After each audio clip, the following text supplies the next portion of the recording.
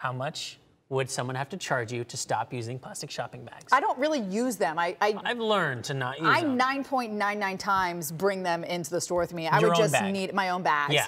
If I needed a plastic bag, which is very rarely, then I'd have to But not all it. everybody's like that, which No? is probably why it's good. They're actually putting a penny or a, sign on this. Yeah, they are. Over the summer, Best Buy started charging customers 10 cents to have their items. Oh, 10 pennies. Uh, 10 cents, there you Well, you get the point. 10 cents to have their items placed in a plastic bag at checkout. What the company saw happening is actually pretty interesting.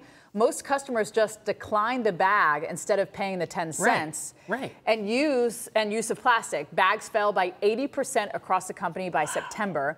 Many other regional and na- nationwide retailers, mainly grocery stores, are considering similar bans over the next few years. This is proof that it does not take much to change people's No, habits. and, and not a lot of money, cents. only 10 cents. You would think they were charging like a dollar for the plastic bag. Yeah, I mean, I, in grocery stores too. I know that uh, some of them have been doing this for a while, and I remember one time getting asked, like, "All right, it's ten cents per bag." I'm like, "Okay, well then just put all my groceries in the cart. I will throw them in the trunk." There you go. Because I don't want to pay for the I've done that too, where you or but the thing is, is people aren't used to bringing their bags in to places like Best Buy. The grocery stores, yes, but other shopping centers, You're right. I feel like people are not yet in the Yeah. habit of bringing in those bags. I mean, how much are you really buying at Best Buy? Do you need a whole bag? Listen, Usually, it's just like one little thing. I was going to say carry it that's out. a one big plastic bag for a television that right. you've got to have I mean, there. seriously. No, you I think this is out. this is good that they're doing this because it, you know, it's not just Best Buy too.